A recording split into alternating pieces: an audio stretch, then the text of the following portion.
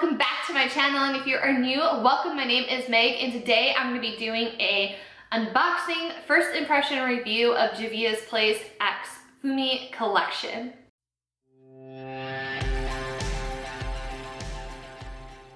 I am so excited for this video because I got my first PR package today. This may not be a big deal to a lot of you, but to me, it is something that is really special. I know is consumers and people that follow other influencers, we see them opening up their PR all the time and we're just kind of like immune to it at this point probably.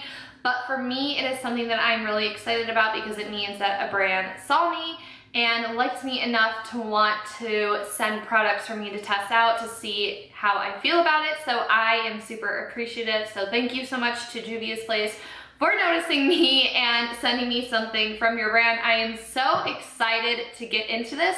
I will show you guys the unboxing right after this clip, but first let's get into the product. So this is an entire collection. I just have the eyeshadow palette from the collection. It looks like there is also two glosses, like a peachy nude that looks really beautiful, and then also a deeper plum colored gloss that looks really beautiful. But today we are just gonna be focusing on the eyeshadow palette because that is what came in my package.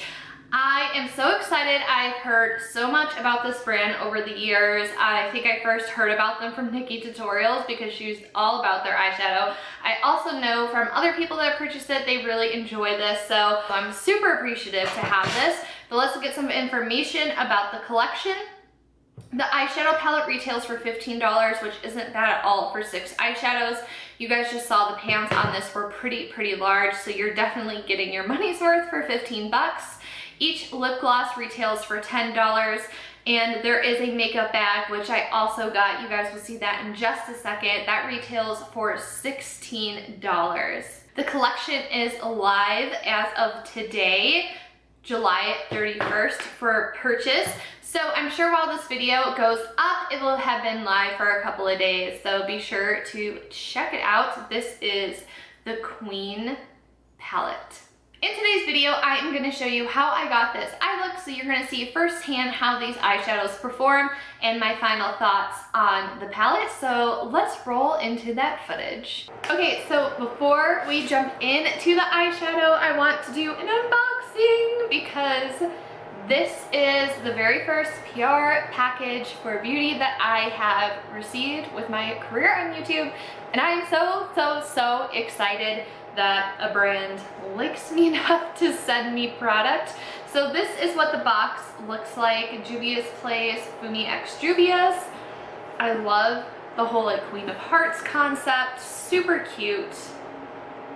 I also love the minimal um, packaging for this because I know PR kits can be quite excessive. So I think that this is really great. In here we have a makeup case, just absolutely stunning I mean, the makeup on this, beautiful. All right, inside the big box, we have this beauty bag, and it is a pretty hefty beauty bag, perfect for traveling. let's see what is inside. So it looks like it is an eyeshadow palette. Again, the packaging on this is simplistic, but also stunning. I mean, those highlights, so beautiful. On the back, it says that this is a collaborative effort with lifestyle blogger and model Fumi, an eccentric take on Queen of Hearts card game mixed with Fumi's love for colors. Palette features six high pigments that are multifunctional and they have a list of ingredients on the back. So let's see what the palette looks like. I love when packaging comes like this, like the our outer carton fits for bubble wrap to ensure that your stuff doesn't get broken, hopefully. And here is the palette. It's the same packaging that was on the carton and it is just stunning. And if you do store your palettes a certain way, you can still see what palette this is. And this is what it looks like. Take the plastic out, zoom you in so you can see. So you definitely have that signature red that is from the cards and I'm excited about the pink, the purple, and honestly, the shimmers look really pretty and this transition shade looks super, super nice. So I'm gonna see what I can come up with today for this. And then also up here, again, you have the little Queen of Hearts card and it is just so freaking cute. All right, my brushes, they are clean, dirty, so that means that no pigment is gonna come off, but they're just dirty I need to do a deep clean, okay? I already know. This fan is turned off because it's annoying and I can't believe I left it on for that long. So for my eye base, I already have the Anastasia eye primer on. I don't set it, I just leave it as is. Um, it's not like super wet or super tacky, so it kind of dries down on its own. I have a whole video comparing this to the P. Louise base. If you're interested, it'll be linked up above. So what I'm going to do is take Sister to Sister, which is this beautiful transition shade, and I'm going to go ahead and pop this into my crease. I'm so excited. I've heard nothing but good things about the formula. There's like hardly any kick up as I swirled the brush around. So that's very nice.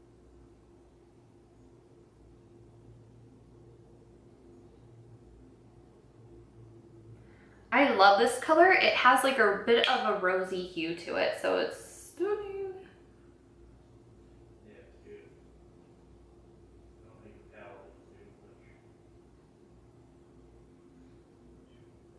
I'm just doing my typical shape here, so I'm keeping things pretty rounded. I try to lift the color up and not drag it down so much in the inner part of my eye.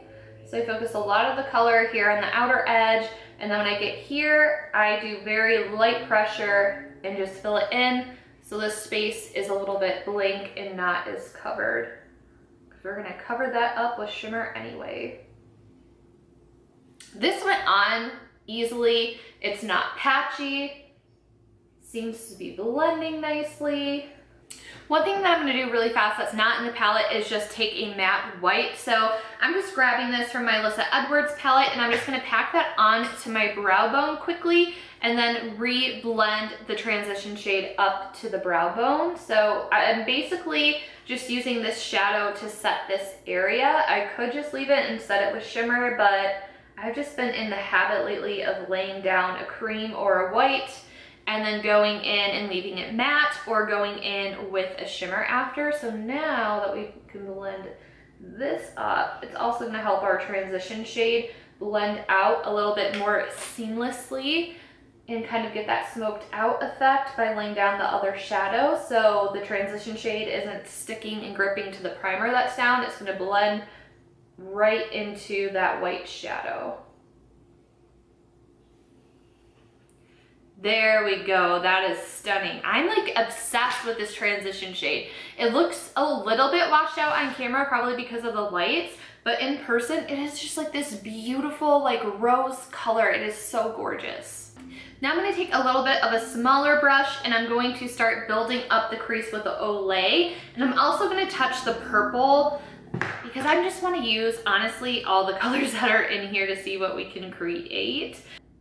So I'm just gonna go in pretty light with this red and just use it to deepen. Okay, I'm glad it's not like red red and it's kind of coming off like a little bit of a red rose color. Now I'm just gonna go back in with a fluffy brush and blend that out.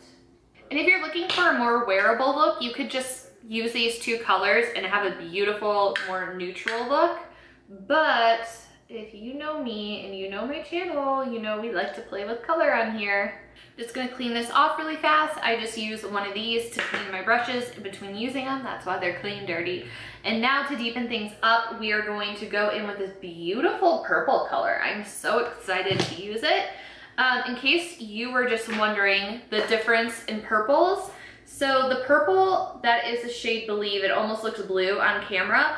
Um, the purple in the Alyssa palette is a lot more brighter in neon, while this purple in this palette is a little bit more of a true purple, dare I say a little bit with a touch of plum in it.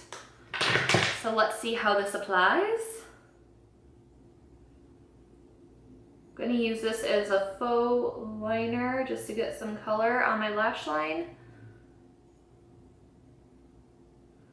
this purple looks like it's definitely going to be buildable. So if you're a little bit nervous with color, this looks like this could be a good palette for you to get you used to color.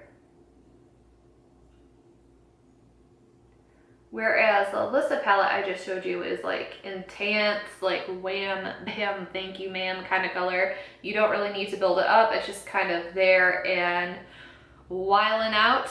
I don't really notice any patchiness either. I know purples can be tricky and a lot of people complain with pur purples going patchy when you start to blend them, but I don't really see that with this.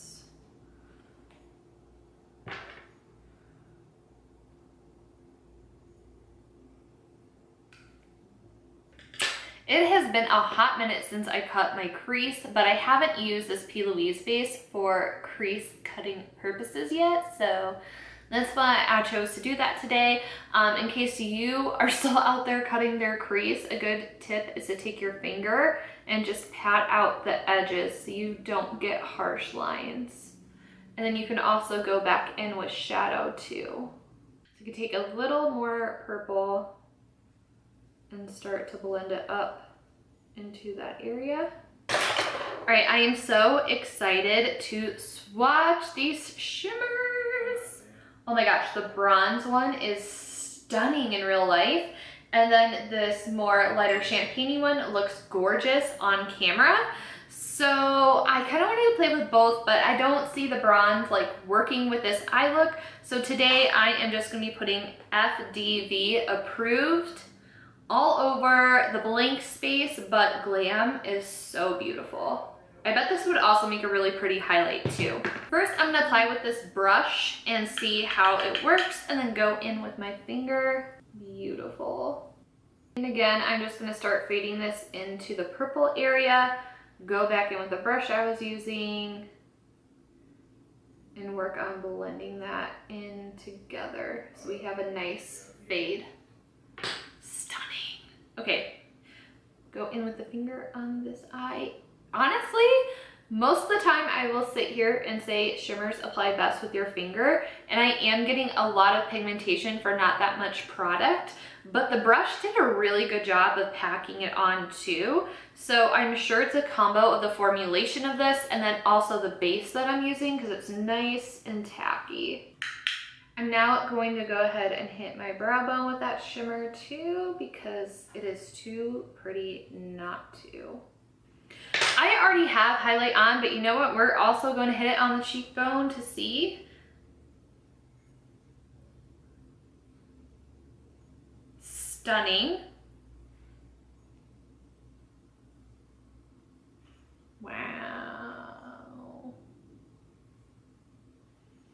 I thought my highlight was pretty lit before, but I'm impressed. All right, lower lash line, we are going full on in with Seven, which is this hot pink. I'm so excited to use it. I'll probably use a little bit of Sister to Sister to blend that out. And then we'll probably hit the inner corner with FDV approved again. And there's fallout.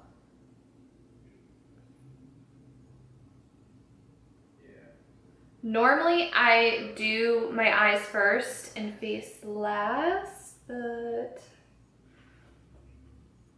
that's what I get for jumping ahead today. Pray that this just goes right off. Okay, it did. It didn't stay. Okay, good. I will say that this shade has the most kickback in the palette, but everything else has been nice and tame. So I was getting a little too comfortable there. Now I'm just gonna go back into that transition shade, the first color we used, and just hit that lightly around the bottom edge. This is just gonna help blend it out a little bit, and it's also gonna help tie the bottom into the top. And this actually looks really pretty layered too. And then I always connect lower lash line to crease.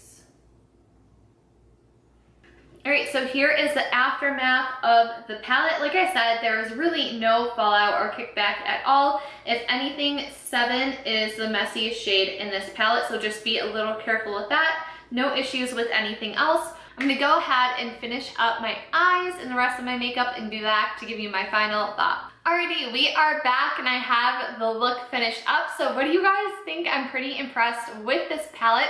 Really fast, just to finish up the eye look, all I did was take like a charcoaly gray eyeliner. I put that in my lower lash line, blended it out, took a little bit of liquid liner, added it to the upper lash line, popped on some Ardell Wispy lashes, called it a day. I am so impressed with the eyeshadow. Honestly, like the shimmer is so gorgeous. Like I can't stop looking at it in my monitor. It is just truly stunning. I am so impressed with the formula. The rosy transition shade is probably my favorite color in this entire palette. The other colors worked really great, blended out really nice. The only color we didn't really get to was the bronzy shimmer, but I did a swatch for you guys. So let me know, what do you think about this eyeshadow palette? What do you think about the collection? Is it something you would pick up? And if you've tried this brand before, let me know your favorite products in the comments down below. I love hearing from you guys. Don't forget to give me a thumbs up if you enjoyed this video. Subscribe on your way out. And also check out my other videos right here and I will see you in the next one. Bye everyone!